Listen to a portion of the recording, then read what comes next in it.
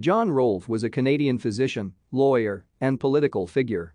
He was elected to the Parliament of Upper Canada in 1824 to represent Middlesex County and was considered the leader of the Reform faction in the 1820s.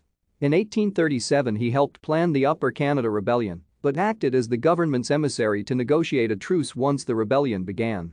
In the 1850s he was elected to the newly formed Parliament of the Province of Canada, representing Norfolk County, and was appointed as Minister of Crown Lands and Minister of Agriculture.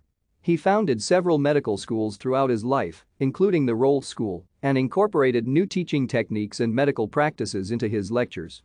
His actions against rival medical schools decreased public confidence in the ability of medical professionals to regulate themselves. Rolph grew up in Thornbury, Gloucestershire, and was educated in medicine and law at St John's College, Cambridge, Inner Temple, London, and Trinity Hall, Cambridge. Thank you for watching. Like and subscribe if you would like to view more of our videos. Have a nice day.